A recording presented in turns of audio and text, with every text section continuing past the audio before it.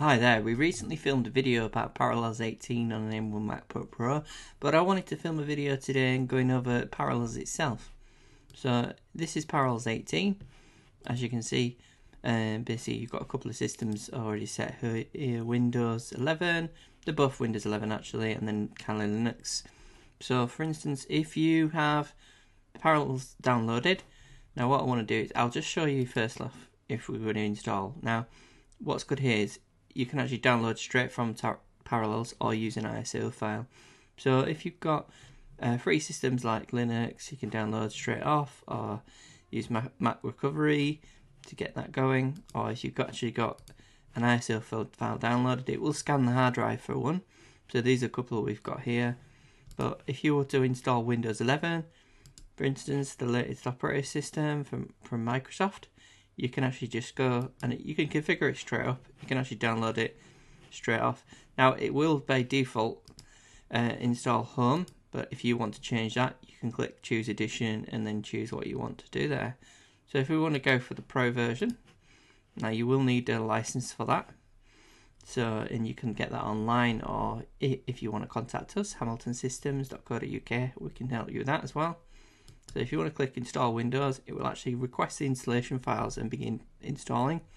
Now it does need to download the, the files first. So it's just going to quickly start doing that. And it's got going.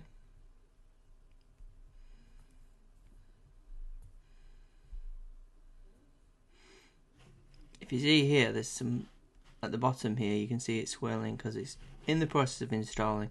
I do find that actually the installation process is, ends up being quicker than if you into, install it on a normal Windows PC. So as you can see, it's just installing. It's got all the files it needs, so now it's going through the installation process.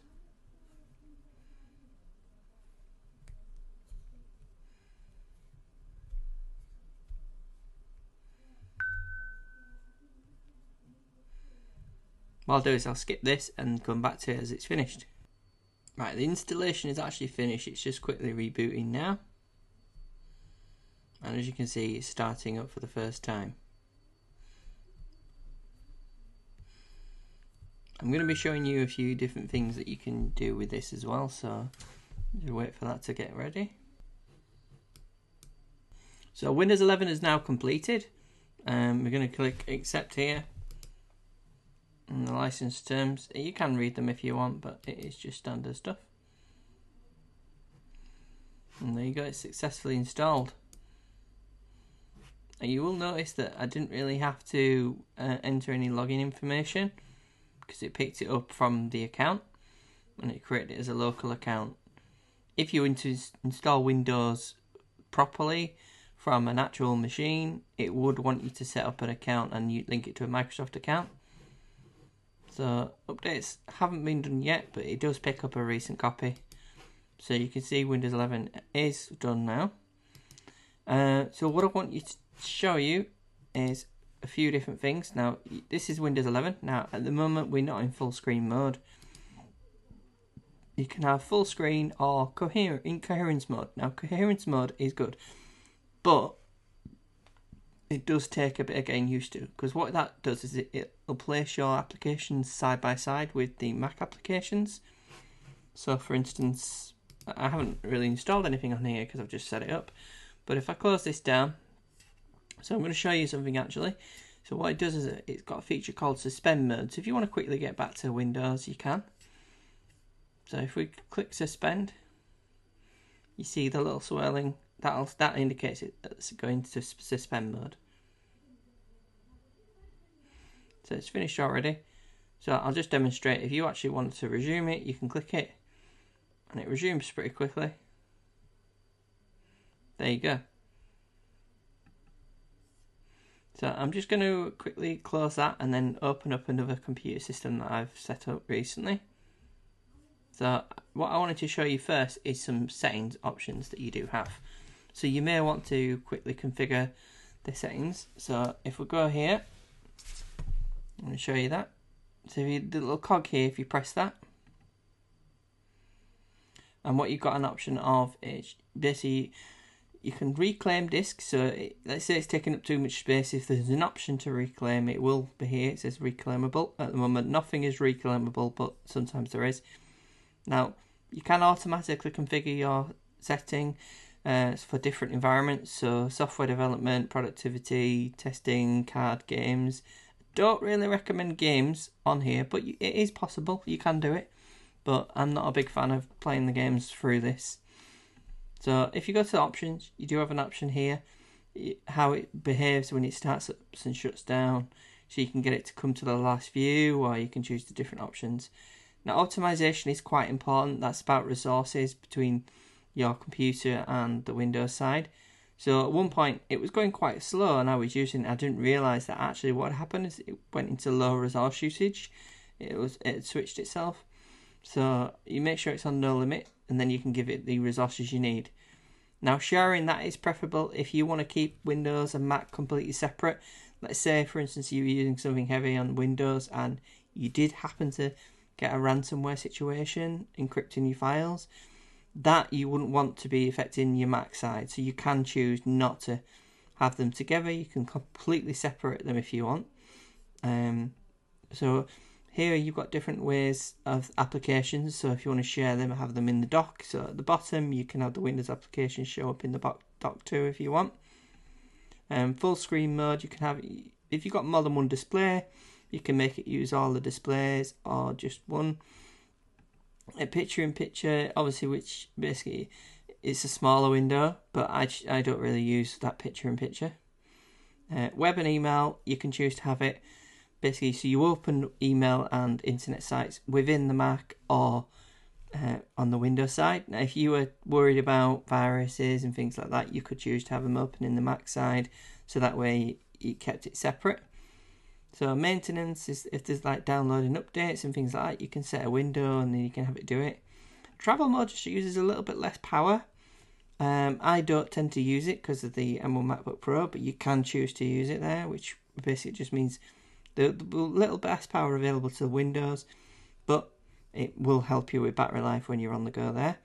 And then you, with more options, you can sync, choose to sync formatting and your, your clipboard, whether it's completely separate or whether you can do it. So when we get onto hardware, now here they do recommend Parallels recommends to keep it onto automatic, but if you're having an issue or you need to throw more power at it, you could add more. So as you see here, they recommend four CPUs, six gigabyte RAM, um, and then up to three gigabyte for graphics. But you don't really manually set that. But you can choose manual, and as you can see, you can choose um, six processors or change it to other, depending on what sort of machine you have. Then you can adjust the RAM as well, um, and that's to change it to adaptive or non-adaptive hypervisor. So I just leave it on the presets for the most part.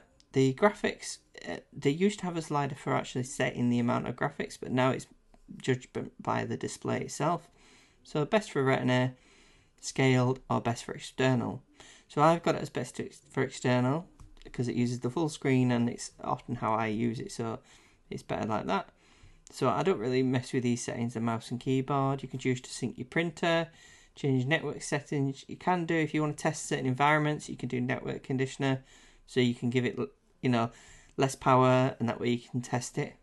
It's good for testing certain things, but I don't have it on at the moment. And then you can choose to sync your camera or not, or sound, choose the different sound options. Same with Bluetooth, you can share Bluetooth devices, any other devices you got. Now there is a, I'll show you another thing as well, because there's a preferences section, so uh, afterwards, which we can show you. So on here, you've got the hard drive. Now, the dem basically if you've got the right equipment, like any Mac with a SSD now, you've got the option with choosing different settings and trim mode, which is just left at default. Uh, you may not have a CD, but you can actually. So if you've got an ISO image you need to mount, you can choose to do that from here. And TPM chip, it just basically simulates the TPM chip that a lot of Windows uses, and then you can choose your boot order. So as I say, I mentioned there was the preferences. So if you go to Parallels Desktop and then up here you go to preferences so on here they've got the general this is important about the location of the virtual machines So if you don't want to store them on the local drive, let's say it was there wasn't that much space and you're worried about how much, you can change that. And same with uh, basically if there's dock items, how it looks. So live screenshot, you can have or, or just an auth icon. Now shortcuts here, this is quite important here because for instance, Control Alt and Delete on the Mac, there's no Control Alt and Delete. There's a Control and an Alt, and there's only a backspace. It's not a delete key. So what we have to do here, we use an alternative. So for instance, if you go here and you scroll down, I've got Control Alt and Delete, and I've got that map to Control Alt and backspace. So and then it picks it up through the Mac. On here as well, devices. So if you uh, connect external devices, it can give you an option of uh, connecting it straight up uh, and working in the virtual machine, or ask you what to do, or you can actually choose it just to be Max if you want the Windows side to ignore it. See, I use basically a mic and a webcam, and if you're using Windows and you're on a Zoom session, it's best to make sure that's connected to the Mac so it doesn't actually overtake it, unless you do literally need to use it within that environment. So on here as well, you can choose security, so you can make need a password to do certain things, turn on encryption, and network. You can change the settings there, but I've just got a lot, lot of it on default, and then advanced mode. Now you'll see here there's toolbox and access. Now toolbox is really good. I'll show you that in a moment. Access, I don't really use that, but what that is is you can allow it so if you've got like an iPad, you can control the window side from the iPad which is handy, but I don't tend to use it. But Toolbox is there's just a set of tools that's just amazingly helpful. So I'll show you here. So library of tools, and this is all included with the subscription there. So if you got here, so if I go to all, you can see there's lots of different options. So you can quickly do things rather than having separate devices installed. Uh, you can separate applications installed, should I say? You can do it right from here and it's so handy. So sometimes just switching resolution. So basically, if you so quickly switch resolution, and then you've got an option, and you can choose the external display uh, or the internal display, and you can just amend the resolution. You could say it's a bit smaller. You can just to get a lot more real estate. But one of the I, I often use the this and resizing images so you can drag an image to there and choose the size. Um, it's just so handy to do.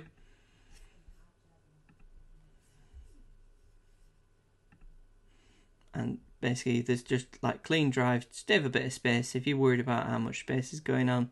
If you look here as well, you can see what kind of network activity, that's all part of it as well. All that is included in it.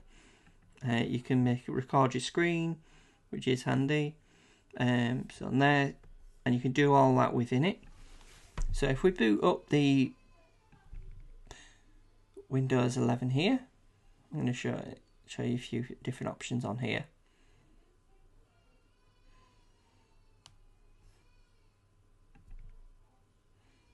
So you, as you can see, you can move it to another screen, move it to the iPad, because um, the iPad basically you can use the iPad as an extended display as well. It's just booting up now, won't be long. Okay, so that that's the version. So as I say, you can use it like this. You can use it full screen. So that's full screen. So you got your start menu there. And you see, now, good thing to note, if you see here, I scroll up and you see the mouse go straight past. Well, actually what that's doing is it's actually going to the next screen, which isn't helpful. So if you press Control and Alt when you get near the top of the screen, what that does is it means the menu will pop down and then you can see the different options. So like devices, you can get actually disconnect and reconnect devices on the fly. So if you quickly need to get access to a device like that's attached, like here we've got my microphone and the webcam, and it would instantly attach itself. So you can choose to do do things like that. You can do quick quick shortcut actions for the keyboard. And there are different options if you got the settings set right. Um, you can change the display. Now I wanted to show you So this is currently full screen. You can exit full screen and you can use it like this. So if you've got different things, you can even drag uh, like documents straight in to the desktop there. But if we switch to coherence mode, I mentioned that before. Now, as you see, you don't really see anything happen there, did you? So it wasn't obvious that that was coherence mode, but what, what you do now is if you press like the command button, and you get the Windows Start menu will come up. So if you were to search for Excel,